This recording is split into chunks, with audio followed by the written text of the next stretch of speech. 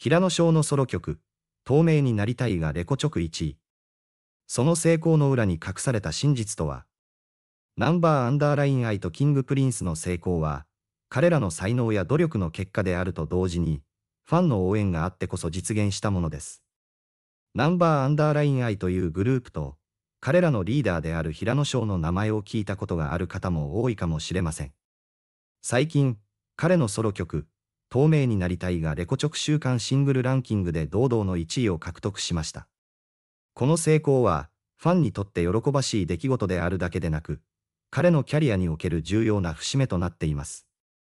しかし、この栄光の背景には、彼が辿ってきた道のりや、音楽シーンにおける変化が色濃く反映されています。平野翔といえば、キングプリンスの元メンバーとして広く知られています。彼のカリスマ性や多才さは、グループの人気を押し上げる一因となっていました。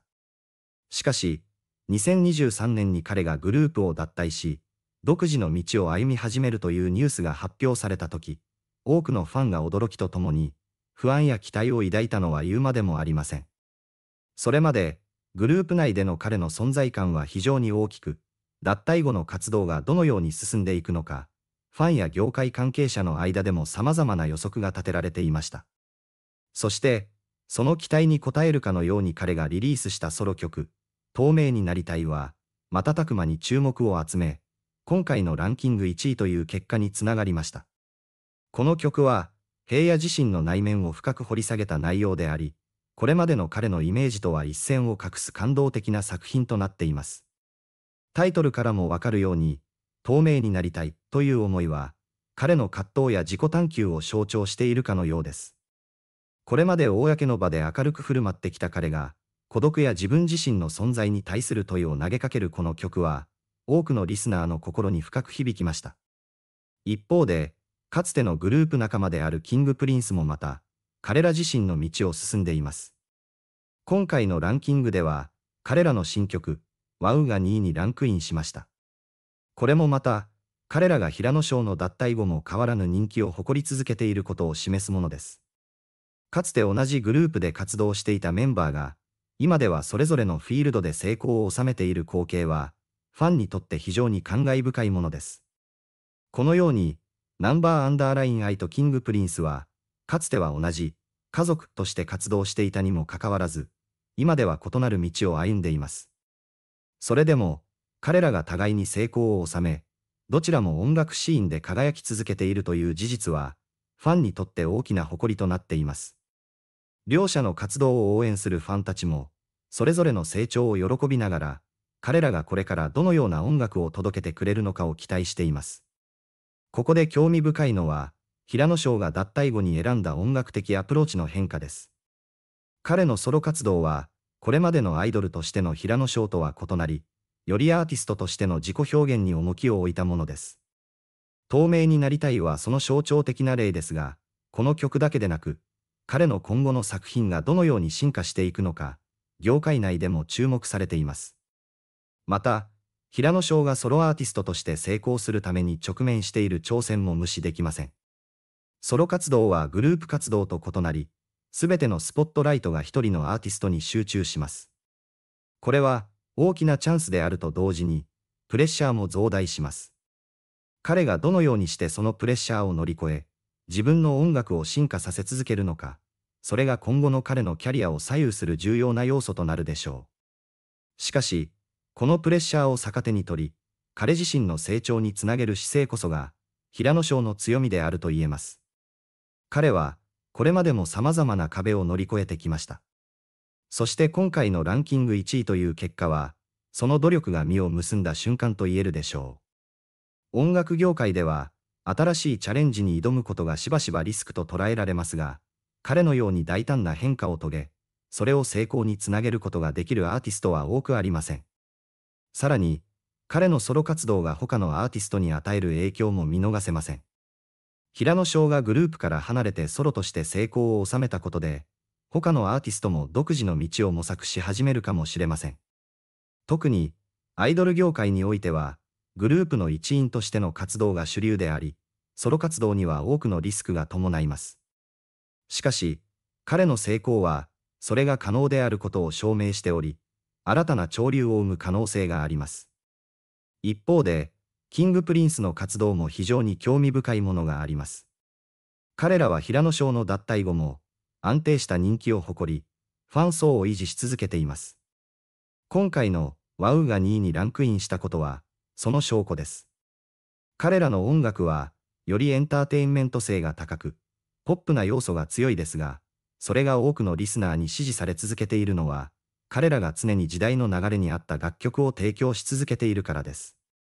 こうして、 Number underline i と King Prince の両方が、それぞれの道で成功を収めていることは、ファンにとって非常に喜ばしいことです。彼らの成長を見守り続け、応援することが、ファンにとっても一つの楽しみとなっています。そして、これからも彼らがどのような音楽を生み出し、どのようなステージで輝いていくのか、その未来が非常に楽しみです。また、このような状況は、音楽業界全体にも影響を与えています。アーティストがグループから独立し、ソロとして成功を収めるという例が増えることで、業界内でのアーティストの多様性が広がりつつあります。これまでグループとしての活動が主流であった日本のアイドルシーンにおいて、個々のアーティストが自分の個性を前面に押し出すことが重要視されるようになるかもしれません。そして、彼らの物語はまだ始まったばかりです。平野翔が、透明になりたいで成功を収めた今、この先にどのような音楽が待っているのか、ファンは興味津々です。彼はソロアーティストとして新しい挑戦を続けていくのでしょうかそれとも、さらに異なる分野で才能を発揮するのでしょうか彼の多彩さを考えると、俳優としての活動や、さらなる音楽ジャンルへの挑戦も期待できるかもしれません。彼のキャリアは常に進化し続け、私たちを驚かせてくれることでしょう。さらに、平野の今後の活動は、他のアイドルたちにも新たな可能性を示唆しています。彼がソロアーティストとして成功したことは、同じようにグループから独立して活動を展開しようとする後輩たちにとって、大きな励みになるでしょう。日本のアイドル業界では、グループでの活動が中心にある一方で、ソロ活動はリスクが伴うものと考えられてきました。しかし、彼の成功例が増えることで、より多くのアーティストが自らの可能性を探求するようになるかもしれません。一方で、 King Prince もまた、グループとして新しいステージに進んでいます。平野紫耀の脱退という大きな転機を迎えながらも、彼らは音楽性を進化させ、ファンに愛され続けています。 WOW がランキング2位に入ったことは、彼らが依然としてシーンで重要な存在であることを証明しています。グループ内での役割分担が変わり、新たなダイナミクスが生まれることで、彼らの音楽やパフォーマンスがどのように進化していくのか、これからも目が離せません。そして、ファンが感じるこの二重の喜び、平野紫耀のソロ活動と King Prince の進化は、アイドルとファンとの絆の深さを物語っています。どちらか一方を応援するのではなく、かつて同じ家族だった彼らが、それぞれのフィールドで成功を収めていることを見守り、応援するファンたちの姿は、日本のエンターテインメント文化において非常に象徴的です。アーティストが異なる道を歩んでも、ファンとの絆が途切れることはなく、むしろそれが新たな形で強まっていくことを私たちは目の当たりにしています。また、ファンにとっては、こうした変化が一つの楽しみでもあります。アイドルやアーティストは常に進化し続けます。新しいチャレンジに直面することで、彼らはこれまで見せてこなかった一面を披露し、ファンに新たな感動を提供してくれます。平野翔のソロデビューは、その最たる例です。透明になりたいというタイトルの通り、彼が見せたのは、これまでのアイドルとしてのイメージとは異なる、より深い内面世界でした。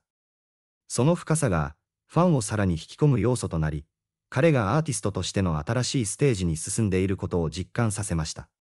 その中で、平野紫耀の今後の動向がどうなるのか、また King Prince がどのようにしてさらに高みを目指していくのか、ファンや業界関係者の間で大きな注目が集まっています。どちらの道を選んだとしても、彼らがこれからも音楽業界で輝き続けることは間違いありません。そして、ファンはその一瞬一瞬を共に楽しみ、彼らの成長を喜び続けることでしょう。結局のところ、 Number underline i と King Prince の成功は、彼らの才能や努力の結果であると同時に、ファンの応援があってこそ実現したものです。ファンとアーティストとの間には強い絆があり、その絆が彼らの音楽活動を支えています。これからも彼らがファンとのつながりを大切にしながら、さらに素晴らしい音楽を届けてくれることを期待しています。